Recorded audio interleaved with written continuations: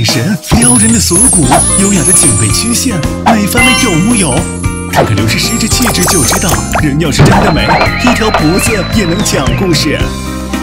要说这脖子可是个运动健将，低头仰头六十度，左右旋转七十到九十度，侧弯也能达到四十五至六十度。停腾腾，申国军，不对呀，我这脖子咋转不过来？你这是颈椎病吧？算你来着了，申国军今天就开专题讲讲颈椎病。世界卫生组织公布的全球十大完整中，颈椎病排序第二，仅次于心脑血管疾病。据最新报道显示，我国约有两亿多颈椎病患者，患病率为百分之十七点三，差不多每五个人里就有一个颈椎病患者。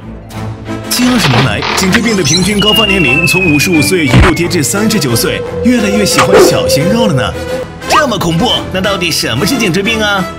书上说，因颈椎间盘蜕变本身及其继发性改变，刺激或压迫邻近组织，并引起各种症状和体征的疾病，称之为颈椎病。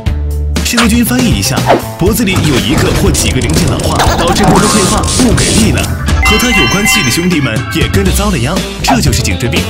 还没明白？来，跟申国军去走访一下。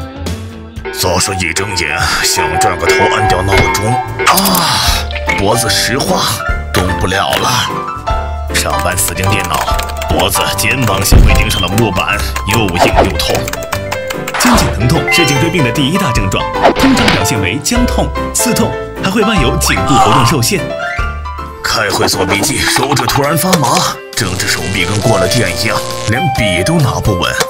走出会议室，好像踩在厚厚的棉花上，腿又麻又软。四肢麻木是颈椎病的第二大症状，上肢还可能出现放射性疼痛，下肢除了腿软，还可能出现行走困难。下班喽，麻溜起来收拾东西。哦，我勒个去，天旋地转。头晕是颈椎病的第三大症状，头转到某个角度就会头晕，甚至会晕倒。是不是感觉后脑勺跟着脉搏的节奏跳跳跳，半个脑袋都在痛？头痛是颈椎病的第四大症状，一般表现为后脑勺跳痛，严重时会波及半侧头部。